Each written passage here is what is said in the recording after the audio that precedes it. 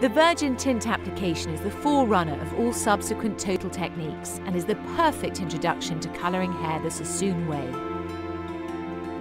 The technique demonstrates the definitive procedure for applying previously untreated hair and includes instruction on accurate sectioning, the required equipment, appropriate formula choice and correct mixing procedure. The process and theory involved in achieving the most natural result with a two-step application is illustrated and uses cotton wool to protect the root area while applying the mid-lengths and the ends before returning to the root to complete the process. This is an indispensable technique for all aspiring colour professionals.